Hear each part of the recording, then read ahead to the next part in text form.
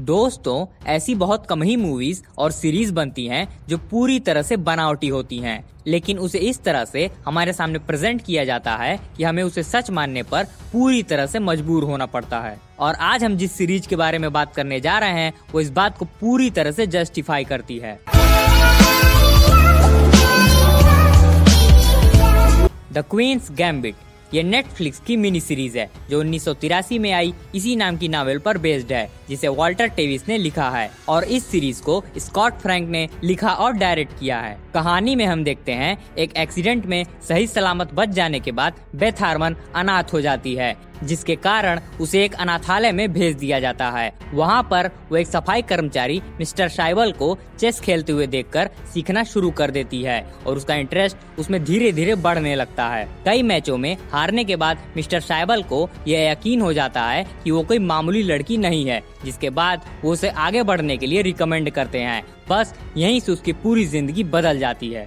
District community state और national level पर सबको हराने के बाद वो किस तरह से दूसरे देश में जाकर इंटरनेशनल लेवल पर पहुँचती है, यही इस सीरीज़ में दिखाया गया है। इस पूरे सीक्वेंस में वो कितना स्ट्रगल करती है कौन कौन सी परेशानियों को झेलते हुए आगे बढ़ती है, इन सभी चीज़ों को बहुत ही बारीकी से इंट्रोड्यूस करवाया गया है। अगर आप ध्यान से देखेंगे तो पाएँगे इसकी कहानी बहुत ही सिंपल है। जैसे गाय पर लिखा गया निबंध एक लड़की है, उसे चेस खेलना पसंद है। खेल खेल में वो उसी को अपना गोल बनाती है और जीत कर वर्ल्ड चैंपियन बनती है। क्वींस गैम्बिट दरअसल एक बहुत पुरानी पॉपुलर चेस ओपनिंग है, जिसका अटैक बहुत तगड़ा होता है। इसमें प्यादे को सेक्रीफाइस करना पड़ता है, ताकि पूरे चेस बोर्ड पर कंट्रोल पाया जा सके। जब इंसान सफल होने लगता है और अपने तय किए मुकाम पर पहुँच जाता है तो फिर उसका अपने दिमाग पर कंट्रोल नहीं रहता है। उस वक्त वो उन सारी फालतू चीज़ों, या यूँ कहा जाए, गलत लत लग जाती है, जो उसे नीचे गिराने में पूरी तरह से जिम्मेदार होती है। और इस बात को इस सीरीज़ में बहुत ही खूबसूरती से प्रेजेंट किया गया है। परफॉर्मेंस की बात करें तो बेथ हार्मन का रोल प्ले करने वाली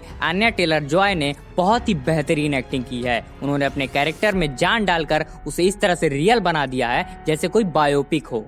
इसे देखते वक्त आपको यही लगेगा कि आप किसी महान चेस प्लेयर की बायोपिक देख रहे हैं। लेकिन यकीन मानिए, ये एक फिक्शनल स्टोरी है। इसे ही कहते हैं द मैजिक ऑफ़ सिनेमा जो इस दुनिया में है ही नहीं, उसे भी इस तरह से प्रेजेंट किया जाए कि आप उसे सच मानने पर मजबूर हो जाएँ। इस पूरी सीरीज़ में कहीं कोई कमी नहीं नज़र आती है। Editing, cinematography, direction screenplay सब कुछ टॉप नॉच है, जिसकी वजह से इसे देखते वक्त आपको बोर होने का कोई सवाल ही नहीं है। दुनिया भर के चेस एक्सपर्ट ने इसे खूब पसंद किया है और रिकमेंड भी किया है। यह सीरीज़ लॉजिकली इतनी एक्यूरेट है कि बिना किसी एक्सपर्ट के बन ही नहीं पाती। इसे बनाने में चेस चैंपियन और ग्रैंड मास्टर की मदद ली गई है। गेम के दौरान कोई वी का यूज़ नहीं किया गया है। सारे चेस के सेट्स असली हैं और उसे खुद एक्टर्स नहीं खेला है। कोई भी स्टन डबल का यूज़ नहीं किया गया है। इवन इस सीरीज़ की कहानी 1960 के दशक की है, लेकिन रियलिटी में 1980 के दशक तक कोई भी फीमेल वर्ल्ड चेस चैंपियनशिप में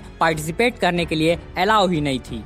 आपने वो सीन तो देखा ही होगा, जिसमें बेथ हारमन बार बार ऊपर सीलिंग की ओर देखकर चेस खेलती है। एक्चुअली ये कोई बड़ी बात नहीं है। आमतौर पर चेस प्लेयर्स ऐसा ही करते हैं। इसकी पॉपुलैरिटी का अंदाज़ा आप इसी से लगा लीजिए कि रिलीज़ होते ही यह 2020 की सबसे ज़्यादा देखे जाने वाली नेटफ्लिक्स की सीरीज़ बन गई थी और अभी तक इसका रिकॉर्ड अनब्रेकेबल है। यह सीरीज़ आपको एंटरटेन तो करेगी ही, साथ ही साथ इंस्पायर और मोटिवेट भी करेगी। किसी चीज़ को पाने के लिए कितना शिद्दत और जुनून चाहिए, कितना आपको सेक्रीफाइस करना पड़ेगा, इन सभी चीज़ों से डीपली इंट्रोड्यूस करवाया गया है। इनफैक्ट अगर आपको चेस सीखना है या उसमें अपना इंटरेस्ट बढ़ाना है तो भाई इस सीरीज़ को बिल्कुल भी मिस मत करना।